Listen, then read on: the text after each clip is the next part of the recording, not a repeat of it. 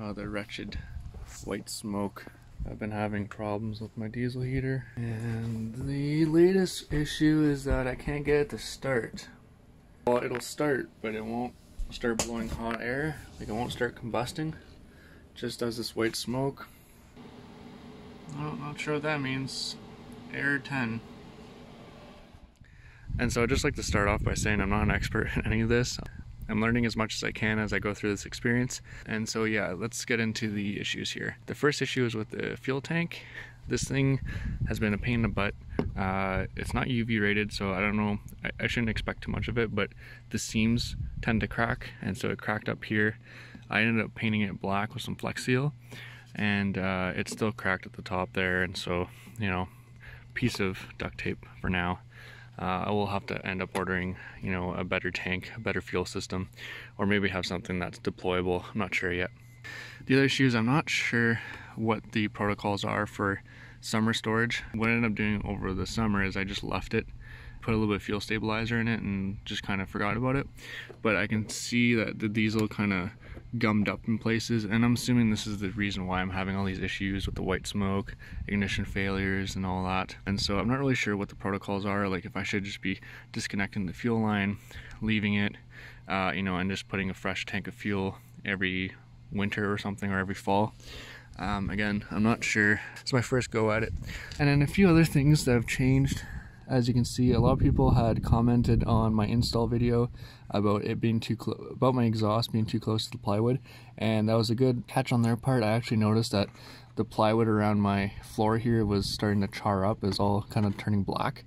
Uh, took a temperature gun to this exhaust pipe. It was really stinking hot like really hot. And so what I ended up doing is put a little sleeve made a little aluminum sleeve around there and that seemed to help. I wanted to wrap it with exhaust tape and stuff, but at the time I didn't take anything apart, but it looks like I'm gonna have to take all this apart anyways and reinstall it. So I'm gonna do that properly the second time. And the other thing is this exhaust pipe. You can see it's already really corroded. Uh, I ended up drilling a little hole here to act as a drain because it's kind of a low spot as you can see. Um, I just did that now. I'm not sure, it hasn't helped with anything, so I'm not sure if it was really worth it or not. And one of the issues I've been having too is that I think excessive fuel has been getting into the system and then burning in the exhaust, which is why the exhaust has been getting so hot. And it's actually shooting flames out of the exhaust. You know, which is cool for like a sports car and stuff, but not really cool for, you know, my cargo trailers. So I'm gonna dig into this issue here, try to figure this out, what's going on with this system. If I had to give a recommendation, let's say, you know, out of five. I give this like a 2.5 star rating.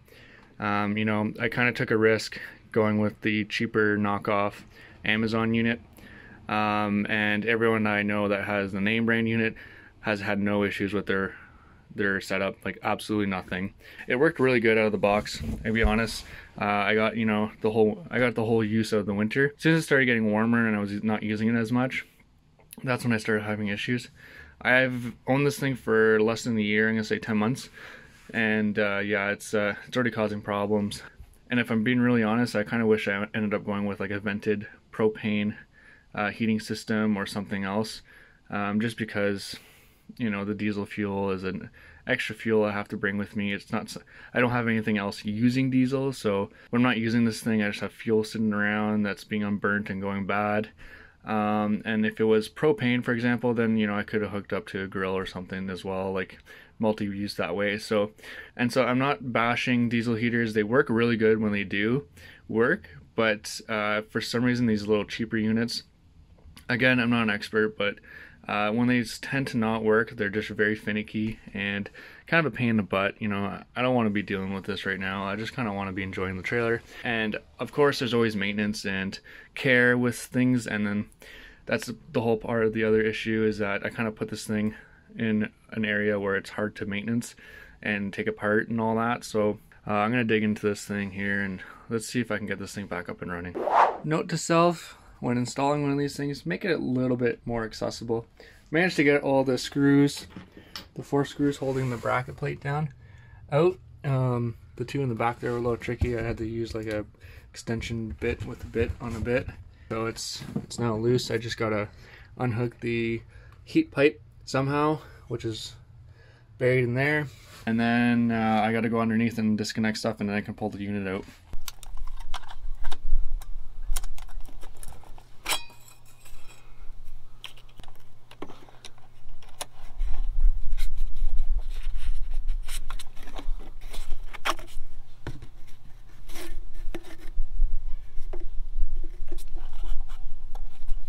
yeah, so there's the exhaust and same thing. The inside of it is really black and there's a bunch of carbon buildup inside that exhaust pipe. So um, these uh, upgraded hose clamps survived really well. They look good. The, uh, the brackets though, these little things, these came with the, the unit. They're just rotted out like crazy. Like they're already all rusted and everything. And so is this exhaust pipe. This exhaust pipe's seen better days. And so inside I have it disconnected from the uh, the wall here, the wall vent, and then everything is unconnected. So I should be able to just lift this thing out.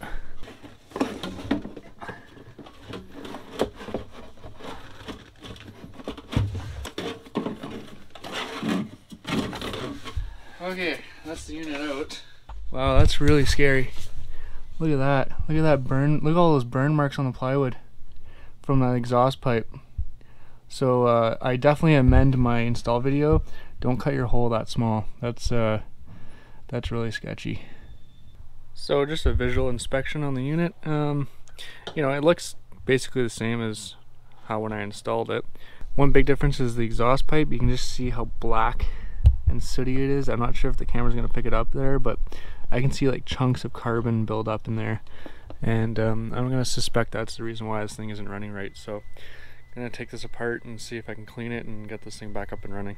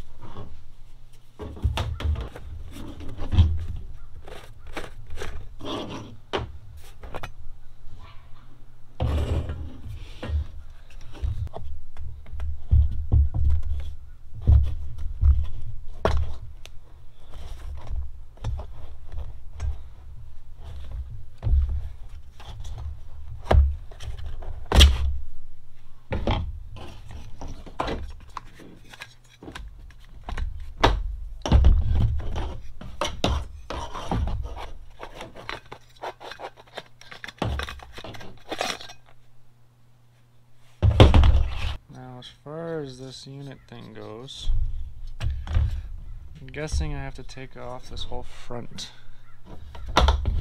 flange here, should be fun.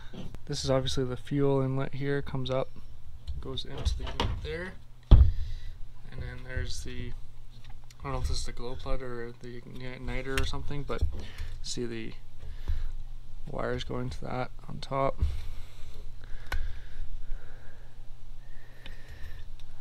I reveal the plastic up, that looks to be alright.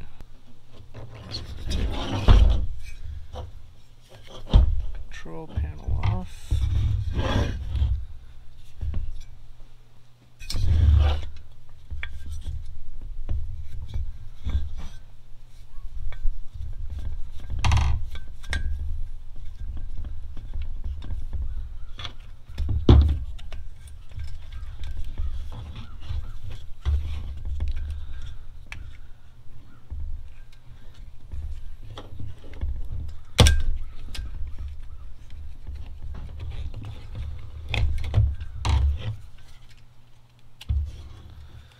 That's the motherboard detached.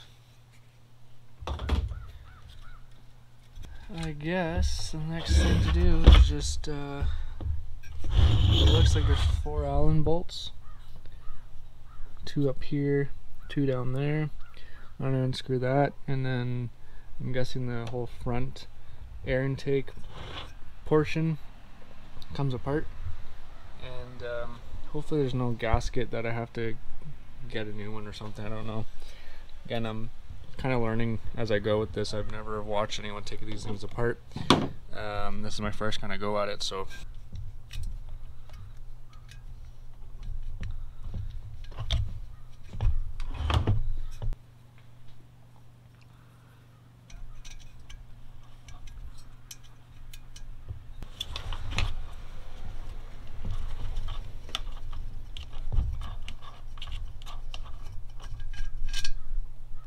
thing kind of looks like a supercharger.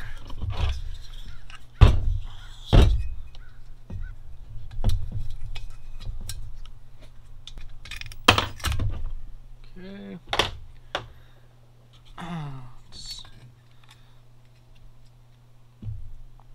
front shaft came out. So this is just the piece that holds the fan, brings the air in. That all looks good.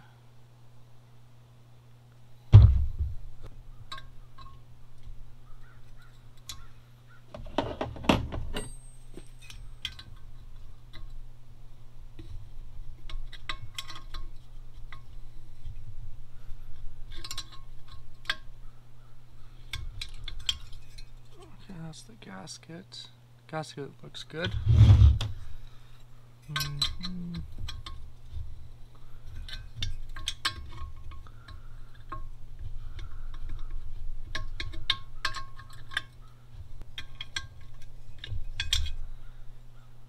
Glow plug. that looks alright. I mean, I don't really know what I'm supposed to be looking for, but looks fine to me visually. Okay, Let's try not to lose all of our screws here. So far I've taken apart the front fan shroud thing. It has a little gasket with it. And then I undid the glow plug or igniter. I'm not sure exactly what this is. It looks like a glow plug. Um, so now there's four other screws in here that I guess I'm going to try and undo and see. I think this is the combustion chamber inside here. So I'm to take that apart and see how that looks like. And I'm to keep these ones oh these ones are different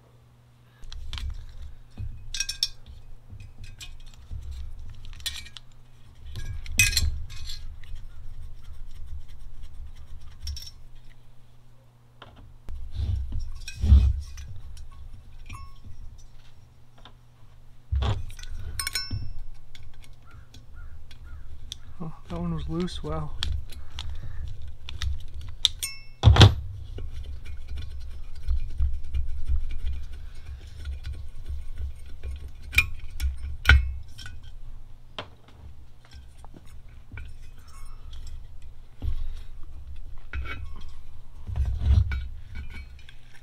Oh, look at that.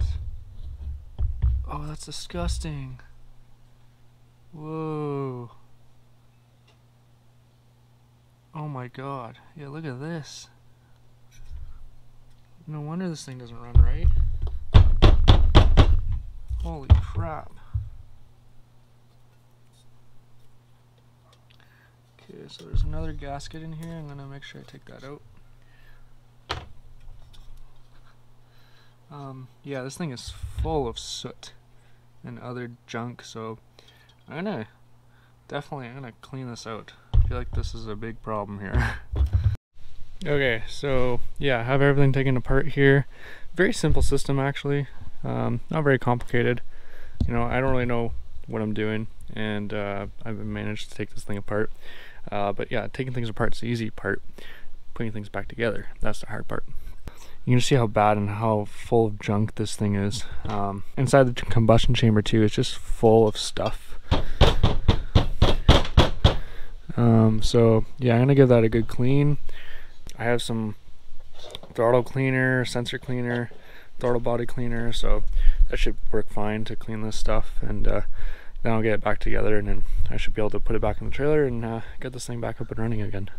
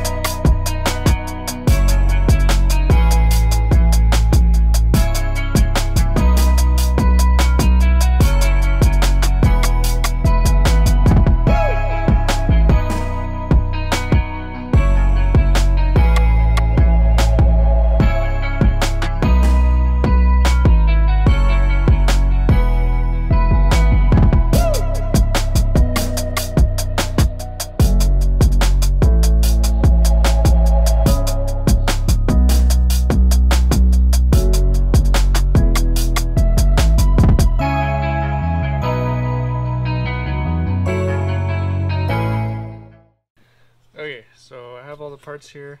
Um, I cleaned it best I could inside the combustion chamber and inside this fuel inlet thingy. Yeah, this was filled with soot and carbon buildup. Um, so I cleaned it all out. Gonna put it back together. Okay, so the unit's all back together now. Um, it's relatively simple process. It's pretty simple to take this thing apart and clean it and whatnot, so it's not that bad. I know in an earlier clip I said I was going to order a plate with a turret flange, and essentially what it is, it's that it has a round uh, flange, kind of like this, but you know in metal, uh, that sticks through the floor and avoids you know that exhaust burning the edges of your floor. Now I can't find any of those online at a reasonable price or that'll be here in a timely manner. Some of the things here in Canada are a little iffy when it comes to shipping from the States, uh, and I was only able to find stuff from the States. So, got a little creative.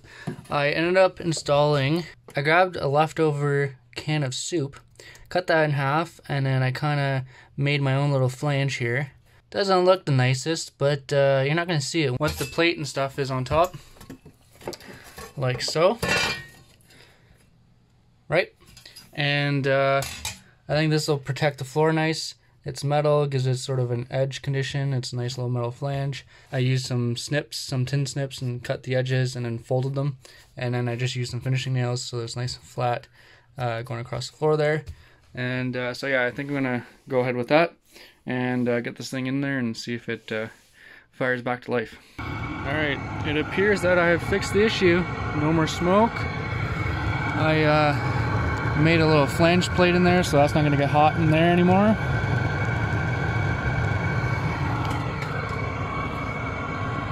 If you go inside.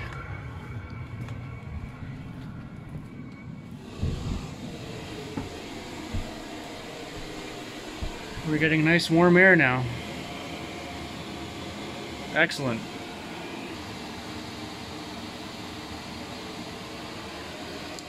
I was just, it's running as it should. So I guess it just needed a good cleaning.